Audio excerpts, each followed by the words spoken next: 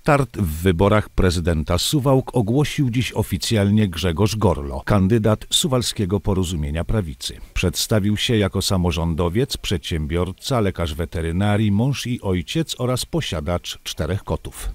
Na wstępie wieloletni były już suwalski radny miejski Prawa i Sprawiedliwości oraz szef tego klubu wyjaśnił, że porzucił mandat rajcy, bo nie chciał być na sznurku Jarosława Zielińskiego, posła PiS z Suwałk. Jak powiedział, miał dosyć autorytaryzmu oraz nepotyzmu, który miał nie tylko przed sobą, ale też za plecami. Nie chciał jednak zdradzać nazwisk osób, które miały faworyzować członków rodziny przy obsadzaniu stanowisk. Zapewniał, że przez wiele lat sam nigdy nepotyzmu się nie dopuścił. To była bardzo gwałtowna moja decyzja, ale to była jedyna. To była też decyzja, która w jakimś stopniu uwolniła mnie od pewnego ciężaru. Mam teraz swobodę postępowania, czyli to, co było zarzucane mi 4 lata temu, że będę na czyichś sznurkach, to te sznurki zerwałem.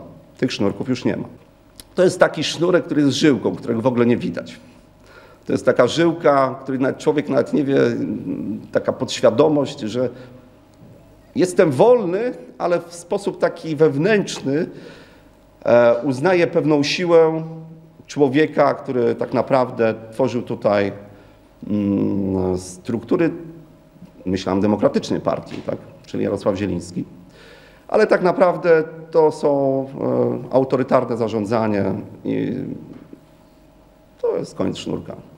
W pełnym metafor wystąpieniu powiedział, że startuje, bo chce Suwalczanom poszerzyć wybór. Kandydat zapowiedział, że jako prezydent chce skupić się na tworzeniu miasta obywatelskiego, w którym mieszkańcy będą mieli głos. Zapowiedział dbałość o seniorów i pomoc w rozwoju przedsiębiorczości, tak aby Suwałki nie były już tylko dawcą siły do ciężkiej pracy. Mówił też o potrzebie wykorzystania elektrowni wiatrowych w celu ograniczenia kosztów przedsiębiorstw, które w dużej mierze płacą za przesył prądu prądu. Po pytaniach dziennikarzy potwierdził to, co mówił kilka miesięcy temu, że suwałki są jak rozpędzona lokomotywa. Zaznaczył jednak, że jego zdaniem maszyna wymaga wymiany silnika węglowego na lepszy, nowocześniejszy, elektryczny. Ta lokomotywa to jest pewnie około tysiąca osób w mieście.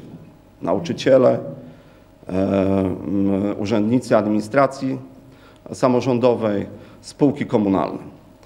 E, mówienie, krytykowanie, e, że tu się nic nie dzieje, jest wszystko złe, to jest nieprawda. Ja jedynie chciałbym dzisiaj powiedzieć, że ta lokomotywa może czas na zmianę e, techniki energetycznej, czyli z pieca węglowego, może przejdźmy na kolej elektryczną i ta lokomotywa może trochę szybciej pojechać. Bo sytuacja jest taka, że dobra koniunktura nie trwa wiecznie, Musimy ją maksymalnie wykorzystać i przygotować się do gorszych czasów. Ja chciałbym stworzyć konkurencję dla maszynisty i dać wybór mieszkańcom, a to oni niech podejmą decyzję, czy ta zmiana maszynisty jest właściwa, czy nie. Nie chcę się narzucać, uważam, że nie chcę wyeksponować swoje zdanie w, tym, w tej, w tej przestrzeni.